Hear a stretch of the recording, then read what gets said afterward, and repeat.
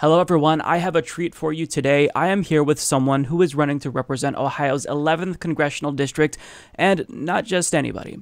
I am here with the legend, Senator Nina Turner. Hello, somebody. Senator, welcome to the program. Hello, Mike. It is so good to be on the show with you. I have admired you for years. You are one of the best, and I mean one of the best oh. progressive firebrands that we have on independent media. And I just love you madly. I just want everybody to know it. I'm just going to put it out there madly. That means so much coming from you. And of course, the feeling is obviously mutual. Um, I've done so many interviews with congressional candidates, politicians, um, members of Congress. This is the first one where I'm like genuinely uh like I'm starstruck almost. Like it feels surreal because like someone that you look up to so much who has been like your inspiration who like picks you up like to talk to that individual to talk to you it just feels really really nice uh, i'm so excited to pick your brain about so much because you are just like a, a data bank of information so I wanted to ask you. Um, I think that everyone who's watching knows what to expect from you from a policy standpoint. But can you just explain, like, what made you want to run and continue the fight, and what do you think you would bring that's different from other members of of Congress? Like, what are your unique attributes that you think you'd contribute? Yeah, thank you so much for that, Mike. And I'm I am excited to I mean, we have more progressives in that Congress than we have had over the last 10 to 20 years. That is for sure. And it will be the combination of, of all of our gifts and talents putting it together. I know I'm probably dating myself, but there was a show called The Super Friends, the older, older version, not the real fancy version when I was growing up. And it was the Wonder Twins. And so hopefully hopefully somebody that's listening can relate to what I'm about to say. But the Wonder Twins, their powers only worked really they were optimized when they were were together. And every time they had to tackle something, you know, fight a villain, it was Wonder Twin powers activate. And so for me, that's really how I see myself going into that Congress. That is not just any one of the progressives or the super progressives. well, we just created a new group here, the super progressives. But it's it's it's it's the Wonder Twin powers activate. And for me, I do bring a righteous indignation. And I think the way that I express, and a matter of fact, I know the way that I express that righteous indignation is unique. I lean a lot on my proximity to pain and understand. And we all have a story. Everybody that watches you and loves you and listens to you, you know, has a story. Everybody in Congress has a story. Those stories are different everybody has a story, but it's how you put that story out there. So my proximity to pain is in full effect. I never want to forget what it's like. I have been in the poor category, the working poor category, and the barely middle class. And I do understand in this unique moment, Mike, we don't have time to waste. And and and and that, you know, I had a I used to work for a, a mayor of the city of Cleveland. He was the second African American mayor elected to the city of Cleveland. And I had the opportunity to serve in his cabinet. And one of the things about serving on the local level of government, so I served in his cabinet and then I also became a city councilwoman but one of the things that I learned from him is that people have 24 hours, seven day a week problems and challenges. And so I know I'm not the only one that brings local elected experience to that Congress, but I I I, I live that. Ex- I mean, that is part of what makes me me. That experience of both being on the executive side of local government and also on the elected side of local government. But Mayor White used to always say, if your hair is on fire, you ought to act like your hair is on fire. Well, guess what? My hair is on fire. You know why it's on fire? Because too many people in this country are suffering, and you have people at the highest offices of the land making excuses as to why we can't push policy to help ameliorate those challenges. So, I'm like, I am not going to sit around being prim and proper. I am going to express the requisite amount of passion and outrage. My hair is on fire for the suffering people of this country. And I think that that's exactly why you resonate with so many people because everyone is feeling it right now. Um, everyone is feeling as if, you know, our heads are over water. We have a limited window to act when it comes to climate change. And nobody's really speaking with the urgency that's necessary for this moment and how severe things are in the country. And I think that the way that you speak to it, it really does captivate people. It, it, gets them motivated in a way where, like, it gives us this new perspective where it's okay to be angry and we should be angry. In fact, that's good because we can use that ang- anger to propel us to actually take action. Um, so I wanted to ask you because th- there's a lot that's going on right now. We just saw the CNN town hall with Joe Biden where he said he wouldn't commit to canceling more than $10,000 worth of student debt. I don't necessarily know that Democrats would be open overall to Medicare for all. We know that Joe Biden wouldn't. So, my question for you is in times like this where we don't have people in power that want to push for policies that we desperately need, especially Medicare for all during a pandemic, how do we fight for those types of things? Like, I know that organizing is important, but at the congressional level, like, how do you push for these policies when you have a party that isn't technically the opposition party, but they're in opposition to us? So, how do you fight for that in these times? No, we gotta continue. I mean, I wish I had a magic wand to to make it happen automatically. I would definitely do that. There really, want the American people to know that there really is no excuse in a hegemon nation for us to be the only industrialized nation, not to push for Medicare for all for our people, not just push, pass it just just just flat out pass. There really are no excuses for that. So for me i mean i i, I don't have a, a, magic wand to, to be able to do with this other than that pushing part is really what we must do. And we have to see the grassroots bubbling up in this country and to continue to be outraged by the fact that especially as you just said in a pandemic that we the collective we whether they're democrats republicans However, this is not about their political leanings. It is about people literally dying and or losing their livelihoods. I don't know what else it takes to move people to Medicare for all. If this pandemic doesn't do it, we have to begin to question our commitment as a nation. So we're saying one thing, and I'm saying we, saying one thing, politicians are saying one thing, but they're actually doing another. You know, during the celebration of MLK, for example, Dr. Reverend Dr. Martin Luther King Jr., you got all these people quoting him, but they won't act in the same manner that he would act and that he encouraged all of us to act. Not in moments like this, especially. We know that the Reverend Dr. Martin Luther King Jr. supported uh, that he that he supported uh, healthcare. He talked about of all the injustices, you know, all of the things that he has seen. The injustice in healthcare was one of those. He talked about militarism, materialism, and war all of these things combined, and not just the Reverend Dr. Martin Luther King Jr., there were other sheroes and heroes that were fighting at all times against the status quo. So, what I would say, Michael, is that I don't want us to lose sight of why it is important to push and why the grassroots in this case is even more important than who is in the Congress and in the White House. Because all of the great changes, social justice type changes that have ever happened in this country have come from everyday people putting a little extra on their ordinary so that extraordinary things can happen. That's one part part of. The other part of it is that taking that righteous indignation and that anger to the ballot box at all times, making a demand and making sure that there are consequences to those demands.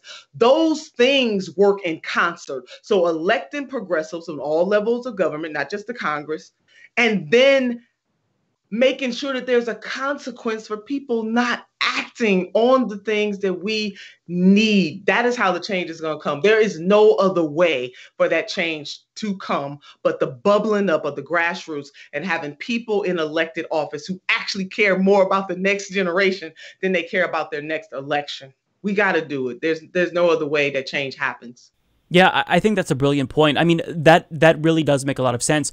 There's no real accountability mechanism in the United States. Like Joe Biden, for example, can say, "I'm not going to cancel more than 10,000," and really all we can do is vocalize anger and outrage. But there's no like political mechanisms at this moment. You know, most Democrats maybe they disagree with him, maybe they agree with him, but they're they're not going to really hold him accountable in a meaningful way. So that's why I think it's really important that we do, you know, institute these types of strategies where we bring together the grassroots and we also build that block in Congress. Um, I, I did want to get your take on uh, members of the squad. So rightly or wrongly, people have been feeling a little bit demoralized because they feel as if the squad doesn't necessarily push back on Democratic Party leadership enough. And I wanted to get your take on this because I do feel a little bit uh, mixed on this. On one hand, they are the only members who ever push back on leadership in the Democratic Party, but perhaps they could be more forceful. Uh, perhaps they could, you know, uh, choose to fight even more battles with them.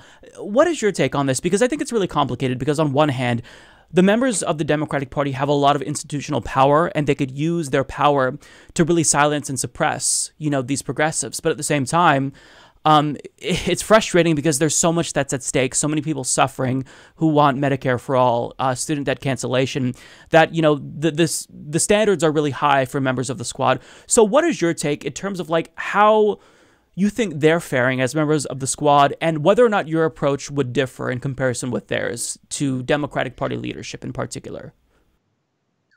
Mike, you're you're right. It is complicated. That's the first thing I need the grassroots to understand, especially progressives. And I know progressives are disappointed. I mean, we tried 2016, 2020. I get it. So for me as as a leader, not just somebody elected, because there are things that I can do in committee, things I can do on the floor of the Congress, but there's also things that I can do in my community and also across this country. So don't I don't want to say don't be disappointed. You got to have some understanding. It's okay to be disappointed, but the the squad is the is is is ultimately the best that we have in terms of being able to push an agenda. And what that means is that you might not always agree with the methods. I need people to understand that when you are on the inside it doesn't mean that you are selling out. I, I, know they, they've gotten a lot of pressure, but they are the ones up there holding it down. They, they're they're pushing as hard as they can. And just because things are not going exactly the way, just because they're not using a, the exact tactics that some in the activist community want them to use, that doesn't mean that you throw them away. Because guess what? If you're throwing away members of the squad who are our best opportunity to get what we need, and also mem- some members of that progressive caucus, then you're not going to have anybody there. So, if the prerequisite, in summation, if the prerequisite for relationship means that I have to do, or the squad has to do everything you say, the way you say do it, then there's not much of a relationship at all. And and and that you're gonna be disappointed. Hell, they're gonna be disappointed with me I, I, said that to Tim Black when we interviewed. I'm saying it to you, Mike. I want them to know you're going to be disappointed at some point. But that does not mean that you give up totally on the people who are the best fighting chance that you have. And then there's something called strategy. So the grassroots strategy is different than the strategy once you are on the inside. You will know when somebody is sold out. And I assure you that the squad has not, underline, bold, underscore, sold out in any way. They need the grassroots. You can hold hold them accountable, but you don't throw them away. I mean, some of the pressures, even with Congresswoman Cori Bush, I would just want to use her as the example. I mean, she just got there. Hell, overall, the squad members overall just got there, even the ones who've been there a little longer. And then you have people just throwing up their hands, throwing them away just because they're not using the tactics that you want them to use. You don't know what is going on. And so part of the thing that I want to do outside of what I do, and I'm claiming this on the floor of the of the House of Representatives and also as a member of committee, is to also continue to educate and bring people. I just want people to see it different ways to get understanding. Stephen Stephen Covey, one of the most world-renowned leadership gurus, has a quote that I love. He says, "Seek first to understand and then to be understood." That doesn't mean we're always agree, but at least let's give each other enough bandwidth to understand. And for the love of God, do not throw away, malign the squad members. It doesn't mean you're not going to be disappointed, but to throw them away is, is, is at our own peril. It really is. Yeah, I, I agree with that 100%. I, I think that there's a difference between holding members of Congress accountable and completely like disregarding them, um, relegating them to like the trash bin as if they're useless. It, it doesn't necessarily seem like a lot has changed because, from a policy standpoint, like what's being codified into law hasn't. But at the same time, when you look at what these individual members of Congress have managed to accomplish, it is substantial. And I get that there is a lot that needs to be done. But I mean, Ilhan Omar single handedly introduced one of the most important bills, canceling all student loan debt. Cori Bush is one of the only members of Congress I've ever heard in a direct way talk about reparations. That's really significant. That's something that hasn't happened at least since I've been alive. And so there eh, like to me, I understand like cause for disappointment because things need to happen fast and it's not happening fast enough.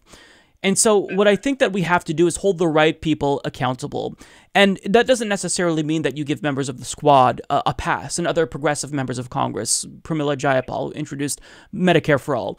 But it does mean that we need to direct our anger towards better people, uh, individuals on committees who are absolutely obstacles to progress. You know, Richie Neal, for example, uh, individuals in leadership who are very directly blocking the things that we want to get accomplished. And so, like, I think that it's important for you to say that to put things into perspective because I totally agree with what you're saying. You know, there are times where I disagree with the strategy of members of the squad, but that doesn't necessarily mean that what they're doing is bad or they've sold out, as, you stated, because when you're in Congress, things are so different because there's so much pressure. I think that Representative Alexandria Ocasio Cortez said it best that, like, the minute you get in there, you are bombarded with all of these voices in your head, you know, of people trying to influence you in a certain way. And so it does change things. It changes the way that you behave, you know, when you are an activist, an organizer, and a member of Congress. But that doesn't necessarily mean that these folks have lost sight of what's important. And I think that that is um, important to say. Did you want to add to that? Yeah, I, I did, uh, Mike. That is exactly right. And God, I, it is. The pain is palpable in this country, and it's been so for a very long time. Oh my God, do I get it? And and, and that is why I express such righteous indignation because I I know you know as I traveled this country, I certainly had the opportunity to to talk to people, to touch people, to to, to listen to their hopes, their dreams, and their fears. And, and the struggle is real even before the, the, the pandemic. But we all have a role to play. The members that we elect to Congress have a role to play, and we, the people, have a role to play too. And I want folks to know that and, and just kind of own that that space and keep pushing and fighting because that is ultimately what is going to get us to where we need to be in this country. And the progressive movement has to be more organized and more agile. And we got to stop the circular firing squad that I am. You know, I mean, just by way of an example, you know, I tweeted Black History Month, tweeted something that President Barack Obama said. And I can't tell you the numbers of people who were, we're disappointed. We're mortified. I walked, I marched with her in Philadelphia. You know, just, I ain't even got to Congress. They already throwing away, throwing me away just because I gave a quote from President Barack Obama, who I did not agree with at, at all times, but I'm not about to throw him away either. And so I, people need to focus on the main things, and the main things are to continue to elect progressives who have bold policies, who will stand up and who will fight on the inside, coupled with, not separate from, but coupled with a grassroots bubbling up that will never go away. That is what that's that's what we need. The grassroots can never go away because that's how we're gonna get this change. People can't lose sight of it. Mike, I know people are disappointed, mad as hell, and suffering like hell too. I get it, but by God, and you know what? You gave those examples about the, the various pieces that have been introduced from from Medicare for All with Congresswoman Jayapal all the way to Congresswoman Cori Bush on reparations, which I will be joining her in that choir. But you know what? That $15 an hour minimum wage is on the House side. And you know why it's there? It's because the congressional the progressive the progressive caucus along with the squad wouldn't let up on it. It's there. And it's probably most likely going to pass on the House side. Now we got to go over there and do the fight on the Senate side. So we are making strong gains. We are. Yeah. Yeah, and I think that it's really really important to like keep things into perspective. Where we are now is I think entirely different than where we were 5 years ago, for example. Uh, I think that the Overton window has shifted largely because of the grassroots, because of members of the squad, and to talk about things like single payer healthcare and reparations I mean that that really is in and of itself a victory and I get that this is all rhetoric and it's not the same thing as actually like getting this passed but it still does matter. Talking about these things that were basically not acceptable to even discuss uh, it matters. To talk about socialism versus capitalism, to even criticize capitalism, is a different thing for America. So we are changing. It's not just the political change that we're going through. I also think it's somewhat cultural as well, where members of American society are starting to kind of wake up and realize hey, in comparison with our neighbors north of the border, Canada, we're kind of getting a bad deal when it comes to healthcare.